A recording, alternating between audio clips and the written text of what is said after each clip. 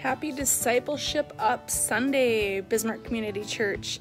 I just wanted to say a special congratulations to all our students that are going into middle school, moving up into high school, and um, going into college. I'm excited for each one of you, and I can't wait to watch you continue to grow in your discipleship journey.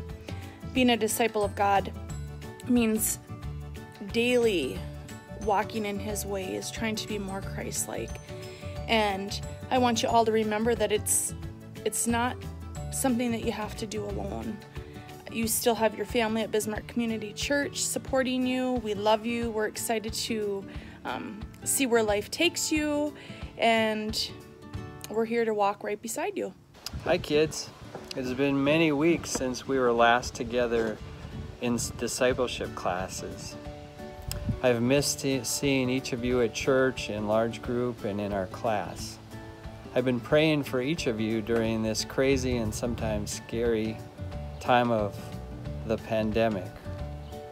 I want to shout out a congratulations to Bryn and Tessa, Jemima, Terry, and Tristan on discipling up. Bryn, I'm going to need your help finding a replacement audio video assistant for next year. For all of you, it has been a great privilege to learn about Jesus with you through over the years. It is my hope and prayer that you will continue to follow and learn about him throughout your entire life.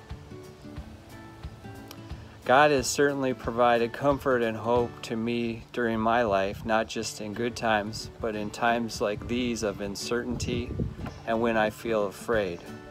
If you trust in Him, He will do the same for you. I leave you with these words from Psalm 61. Remember, when you feel alone or maybe scared, let God know. And He will lead you to a rock that is higher than all of these things. He will be your refuge and your strong tower. Best wishes.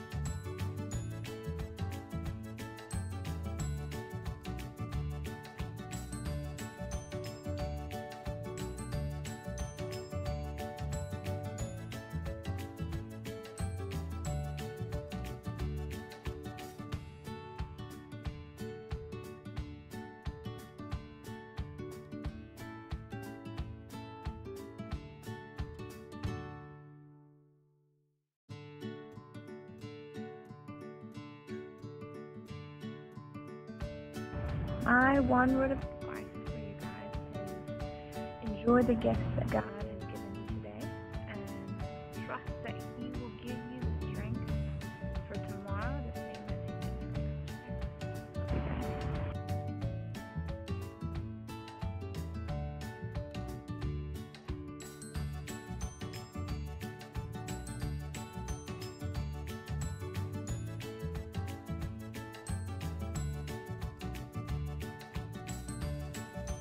Hey Day Up students, congratulations on moving up to the next level of discipleship. That's awesome. I'm really glad that you've all decided to become lifelong learners of Jesus. I think that will serve you very well in the future. Congratulations again. Love you all. Congratulations on everything you've accomplished over the past 12 years. Just remember to keep trusting in Jesus and to not let anybody tell you that you can't do whatever you set your mind to.